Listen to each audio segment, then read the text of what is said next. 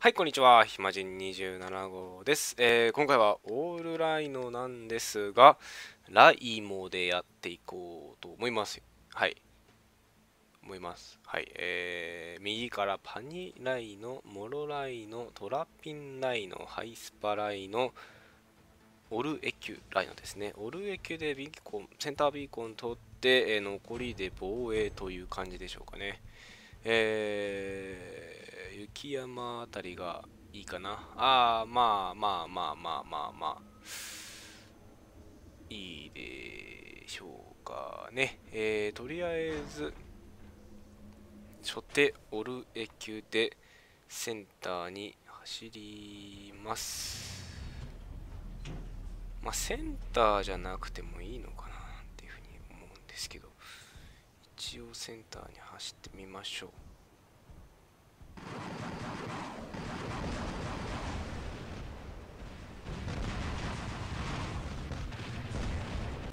取られる前に近づいとかないと。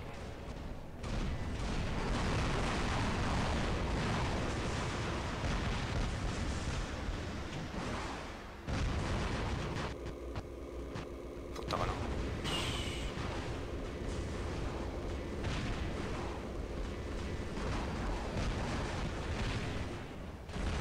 ああダメか。トラッピンばっかりでしたね。そしたら、えー、とりあえずモロットでやってみようかな。モロットで向こうのトレビ落としに行こうかな。打たせてですかね。一応、K モロで倒すイメージで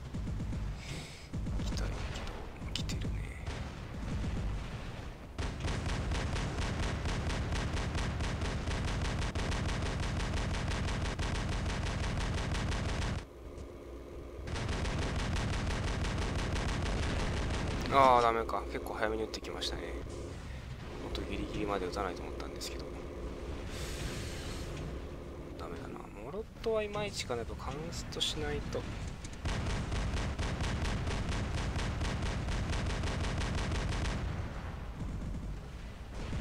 音は一丁前にかっこいいんですけどね。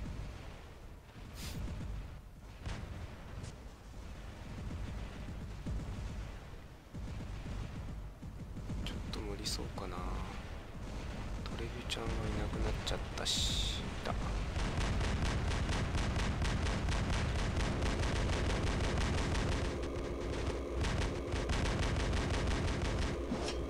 ん微妙ですね。おっワンサイルなし。発見。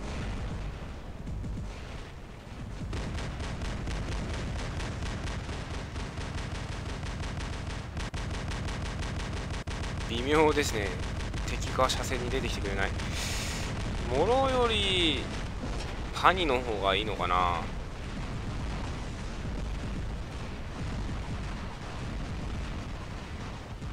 モロットの良さは？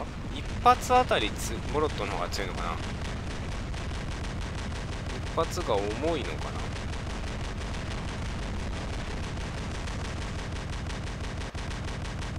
ああいいですねおまた暗されるでしょ多分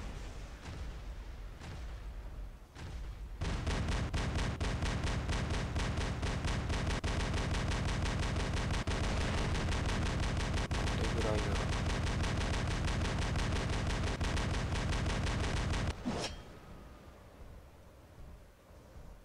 敵も攻めるに攻めれないといった感じでしょうかね。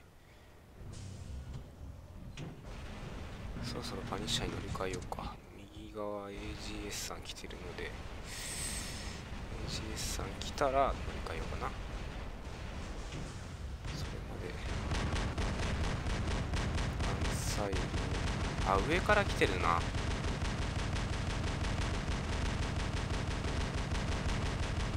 あでも降りなきゃビーコン取れないんで。ああ MIG さんが来ちゃった。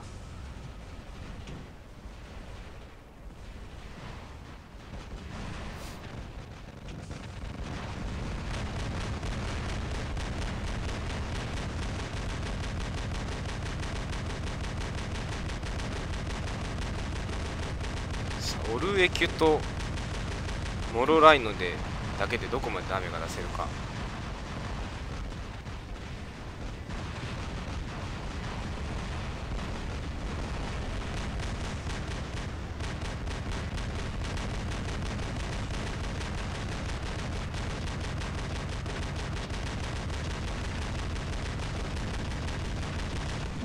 めちゃくちゃ持っております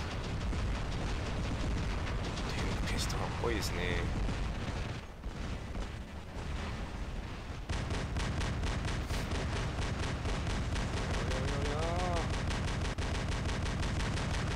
うん。終わった。ありがとうございます。やっぱりやっぱこういうマップは遠距離乗りたくなりますね。47万か。まあそんなもんでしょうね。これでねトップとかになっちゃったらもうみんな乗っちゃいますよね。ごめんなさい。はい。パニライノは使いませんでしたがまああんまり結果は変わらんでしょう。はい。というわけでライモでした。まあパニライノはもしかしたら使えるのかもしれないのでまた次の機会に使ってみようかなというふうに思います。はい。それではこの辺でおしまいにいたします。ご視聴ありがとうございました。